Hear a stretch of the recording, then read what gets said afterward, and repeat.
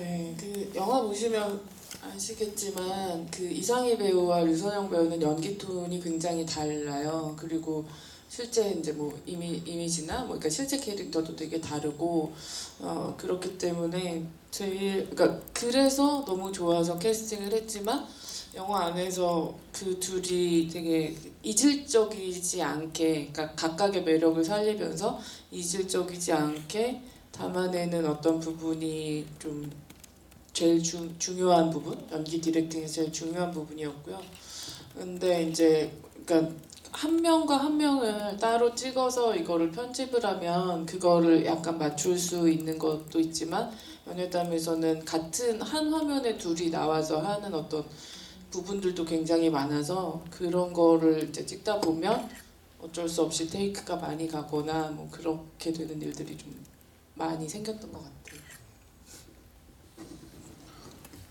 저기 두 배우분들 사이에서는 뭐 가장 어려웠던 점은 뭡니까 솔직히? 저기 인터뷰 기사들을 많이 봤는데 좀 상투적인 답변을 하도 많이 하셔가지고. 예, 두 분끼리 합을 맞추실 때 사실은 두 분 처음이시죠? 이게 이게. 예, 예, 좀 가장 어려웠던 점은 어떤 부분이 좀 어렵고 어, 저는 이제 제가 대본으로서 읽은 지수랑 제가 선영이를 잘 모를 때 처음 만났던 선영이의 첫인상은 정말 되게 흡사했어요. 되게 흡사했는데 알면 알수록 어 얘가 진짜 럭비공처럼 어디로 튈지 모르기는 한데 지수처럼 그렇긴 한데 약간 다르거든요. 그래서 야, 현 촬영 들어가기 전에 약간 혼동이 온 거예요. 어, 큰일 났다 다른데 그래서 그때부터 실제 선영이를 조금 멀리 했어요. 저 혼자서 지수를 만나야 되니까.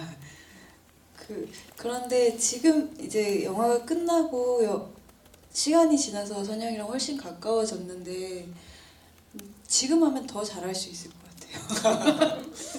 연애담 2 찍나요?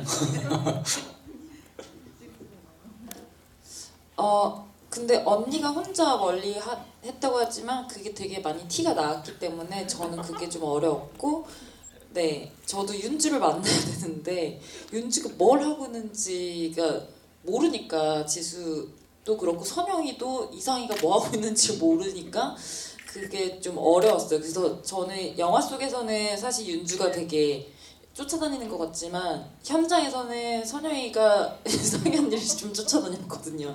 언니 이거 어떻게 하면 좋을까요? 어, 나는 언니의 다른 거를 볼 수가 없으니까 우리가 마주치는 씬이 아니면 우리도 어, 우리는 뭘 했을까요? 뭐 지수랑 윤수는 뭘 했을까요? 계속 약간 질문하는 타입이었거든요. 근데 언니는 저를 멀리하고 있었으니까 네, 그게 좀 힘들었습니다.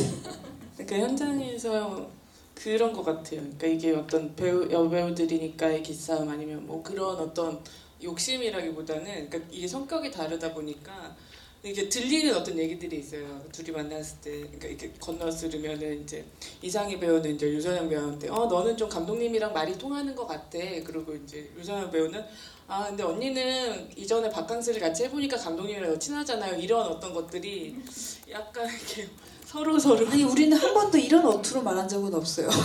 제 여기 예, 입이 좀 풀리시니까 이제 만담 분위기로 가고 있습니다. 그 감독님께 하나 더 질문 던질게요. 그 사실은 연예담이 그 다양한 해외 영화제에서 초청을 받았고 아마 다다음 주 정도 되면 아마 일본에 또 도쿄 필리맥스 또 가셔야 되는데 해외 관객들 반응은 좀 뭐 어떠세요? 저기 전주나 여성 영화제